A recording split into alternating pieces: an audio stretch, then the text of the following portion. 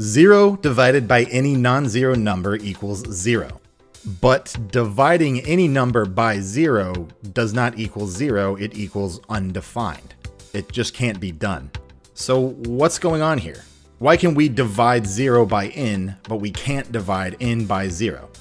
To answer this, we need to take a look at what division as a function represents. Division is asking us the question, if we have a certain number of things, and we split them into groups which each contain a certain number of each, how many groups do we have? The equation is the total number divided by the total number in each group equals the number of groups we have. This way of seeing division is what's called quotition division. It's actually possible to flip these two, which gives us the partition method of seeing division. Now mathematically, there's no difference between these. The numbers will always end up the same. So to keep things simple, I will be using quotition for this explanation, and then I can explain partition at the very end. To make things a little more concrete, let's have our groups be plates and our things be cherries. The total cherries we have divided by the number of cherries on each plate equals the number of plates.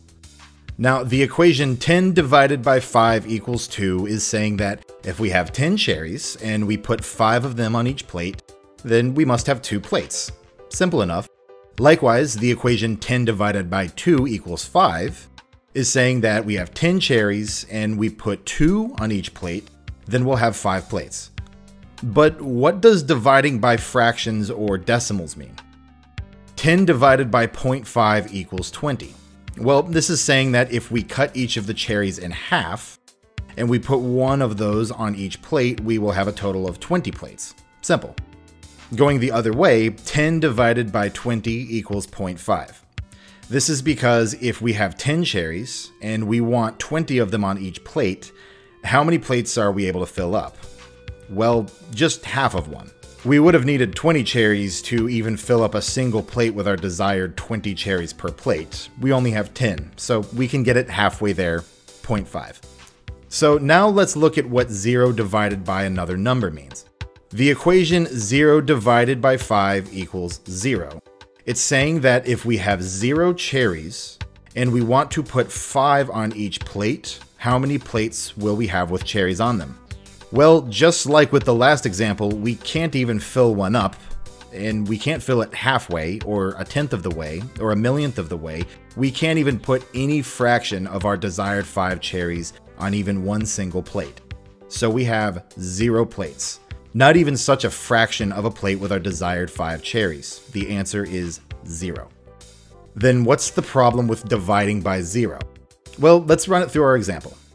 The equation 10 divided by 0 is asking us that if we have 10 cherries and we want to evenly split them up to end up with 0 cherries on each plate, how many plates do we end up with? It can't be answered because it can't be done. The answer is not 0 because how exactly do you split 10 cherries into 0 equal groups? Even if we cut each cherry into billions and trillions of little tiny pieces, then we just have billions or trillions of plates, each with a tiny fraction of a cherry on them. And if we put all 10 cherries on one plate, we still have one plate, or one group. How can you take something that exists and then make it not exist by dividing it? You can't. Let's look at this from another perspective, by starting in the middle.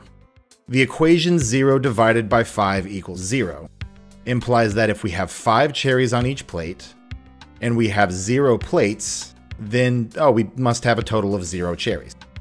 Whereas 10 divided by 0 equals 0 implies that if we have 0 cherries on each plate and we have 0 plates, then we somehow have 10 cherries. This is absurd.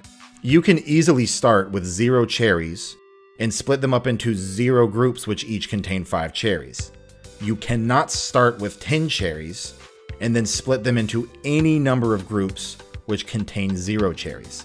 How many plates of five cherries do we need to have a total of zero cherries?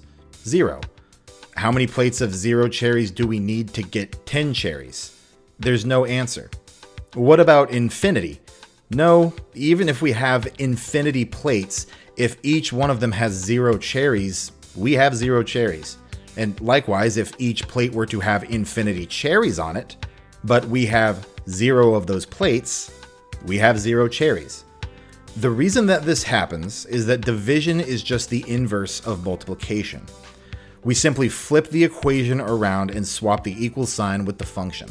0 divided by 5 equals 0 when inversed is 0 times 5 equals 0. That's perfectly fine. 0 plates, 5 cherries on each, gives us a total of 0 cherries. 10 divided by 0 equals 0, inversed, says that 0 times 0 equals 10.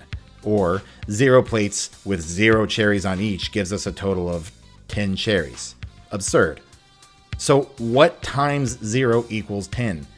What if we multiplied it by infinity? No, as stated earlier, infinity times 0 still equals 0.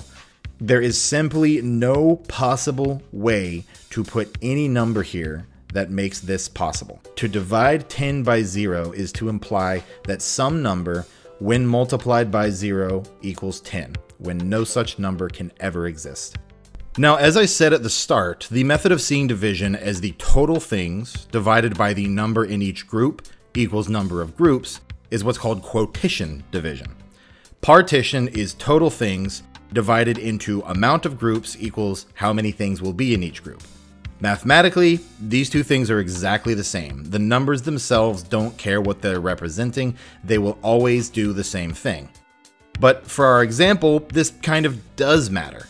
Does this affect our explanation for why dividing 0 does work, but dividing by 0 doesn't?